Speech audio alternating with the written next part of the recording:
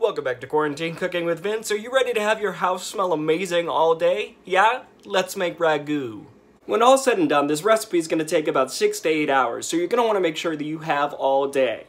For this, you're also going to need bacon, chuck steak, ground beef, celery, carrots, onion, garlic, tomato paste, two big cans of tomatoes, milk, Chianti, oregano, salt, pepper, finally, olive oil. Chop your bacon into small bits and then get it in a cold, big pot.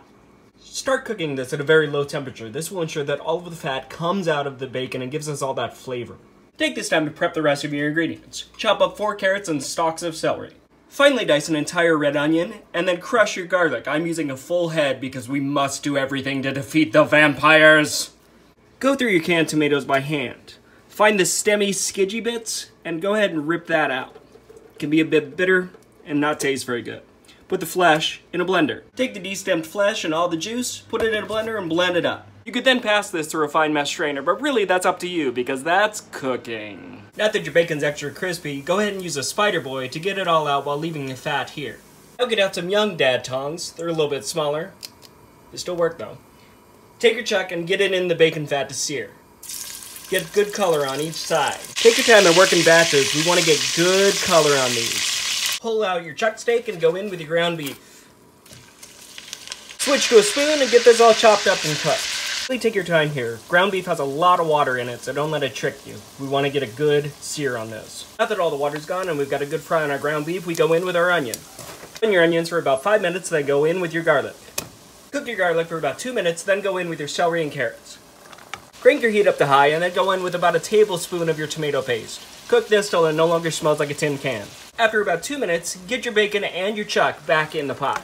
Add in a quart of milk. Add in a couple of dashes of oregano and pepper here.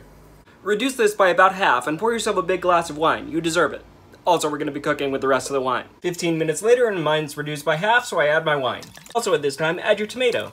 Bring this up to a boil and then back it down to a simmer and leave it simmering for at least 6 hours. After about 3 hours, you might get some oil on the top. You can go ahead and skim that off whenever you want.